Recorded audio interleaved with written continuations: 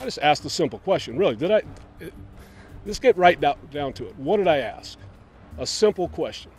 Why are we not looking into those things? If we're going to talk about it, why are we not looking into those things? This is Washington Commanders defensive coordinator Jack Del Rio, who was defending the January 6th insurrectionists. Because it's kind of hard for me to say I can realistically look at it. I see the images on TV. People's livelihoods are being destroyed, businesses are being burned down.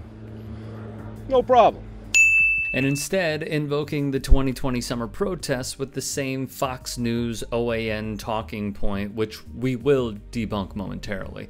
And then we have a dust up at the Capitol.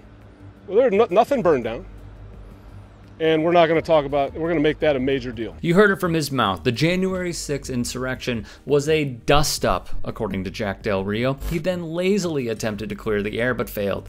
I stand by my comments condemning violence in communities across the country. I say that while also expressing my support for peaceful protests in our country. I have fully supported all peaceful protests in America. He supports all peaceful protests. So when this guy took a silent, peaceful knee, Del Rio was in favor, right? Wrong. You're representing our organization, and our organization believes that you should pay respect to the flag. Save those individual decisions to express yourself for an individual forum, Del Rio said in 2016. It's always been understood, he added. You stand attention. You pay respect to our flag, our country. That's always been kind of an assumed thing. In favor of peaceful protests, right? Then why wouldn't he be in favor of the protests in the summer of 2020? A Washington Post analysis found based on the 7,305 events they collected, the overall levels of violence and property destruction were low, and most of the violence that did take place was, in fact, directed against the BLM protesters. Knowing Del Rio will use the back the blue jargon, the post analysis went further.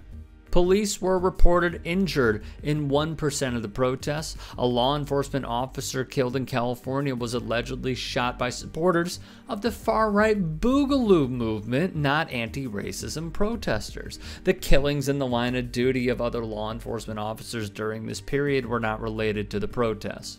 Why doesn't Del Rio note any of this? Why doesn't he mention Umbrella Man, who police identified as belonging to a white supremacist group? This dude caused destruction to a local AutoZone. No comment from Coach. How about in Richmond, where white supremacists disguised themselves as BLM protesters who tore down police tape and pushed forward toward Richmond police headquarters, where they set a city dump truck on fire? Maybe it's because when someone tweeted, Black people are begging agents of the state to stop executing them, Del Rio replied, uh, yeah, sure. In San Diego, white supremacists pretended to host a protest to honor George Floyd on Facebook to whip up violence. Others in the area were warned not to go because it was a white supremacist organized rally. Where's Del Rio when it comes to Ivan Harrison Hunter, a member of the extremist Boogaloo Boys who traveled across state lines to shoot at police precincts while yelling justice for Floyd? As a matter of fact, leaked docs from former President Trump's own DHS analysts issued an open source intelligence report detailing how a white supremacist channel on Telegram, an encrypted messaging service, was encouraging followers to capitalize capitalize on the unrest by targeting the police with Molotov cocktails and firearms. So, why did Del Rio call January 6 a dust up while simultaneously being over the top in his criticism of the 2020 protests? Journalist and author Howard Bryant has a thought.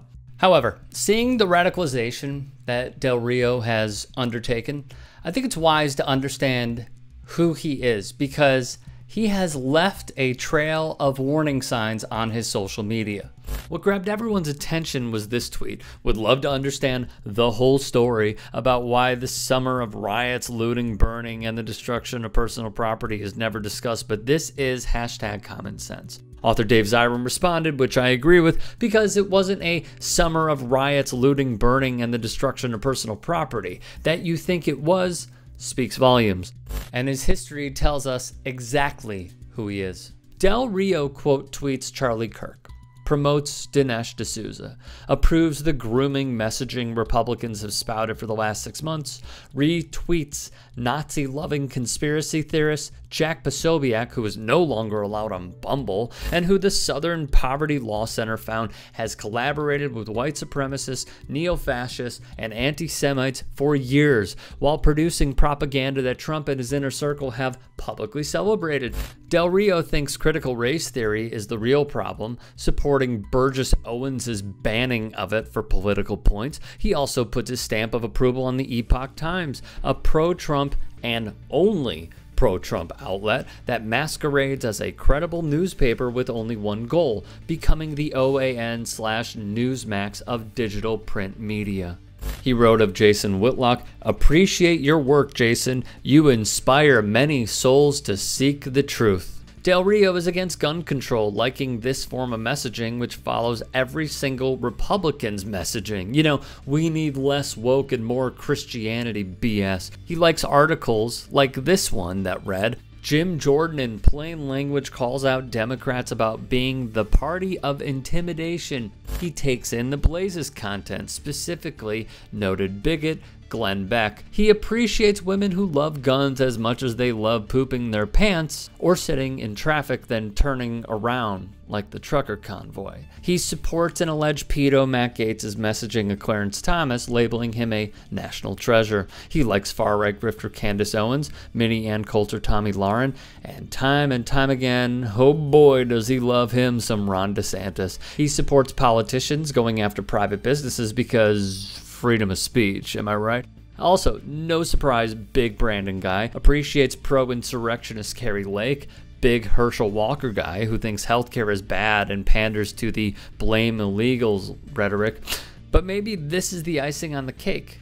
He believes Donald Trump and his family have committed no crimes whatsoever, whereas the real problem is or uh, Hunter Biden. Lastly, when Joe Rogan spewed misinformation, as he usually does, Del Rio liked Jason Whitlock's tweet of nonsense with the conclusion of it being, if you believe, and you could see the tweet of what, you also believe 1-6 was an insurrection.